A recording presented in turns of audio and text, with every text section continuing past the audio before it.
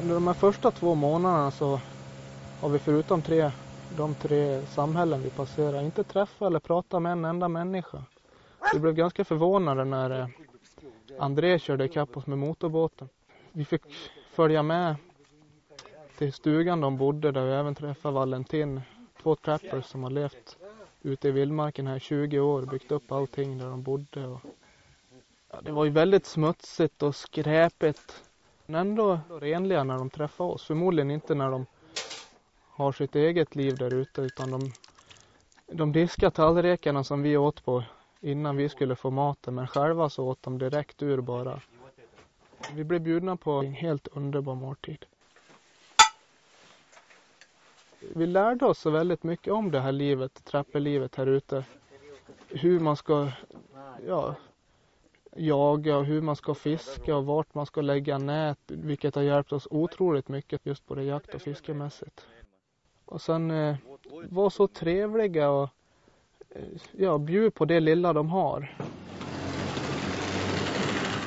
Backa! Backa!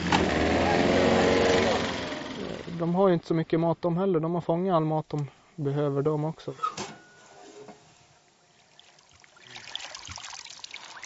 I natt kom vintern med stormsteg. Och det har, allting är ju, blir ju fruktansvärt mycket kallare. Och vi är ungefär fyra dagar från Sirianka. Vi har paddlat stenhårt. Men det är så pass kallt ute nu börjar det bli en 7-8 minusgrader. Så vi är rädda att det ska komma is alldeles snabbt. Och vi har inte hunnit klart, få klart förråden inför vintern än. Vi ska ju torka så mycket fisk och få så mycket kött som möjligt. Vi har klarat oss utan egen mat nu, ja de senaste en och en halv, två veckorna utan några som helst problem.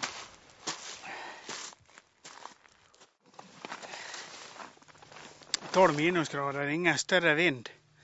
Men 12 minus och den här råheten. Och vi kommer att få ett vindmotstånd när vi paddlar. Man sitter hela tiden med helt isolerad och fast med benen. Man är så kall. Allt under kontroll där bak Johan. Inga problem. Vi har nu paddlat 140 mil under två och en halv månad.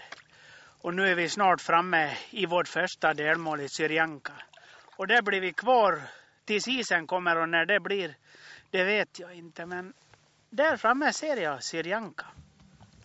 Tror du någon, de har någon pizza här mycket?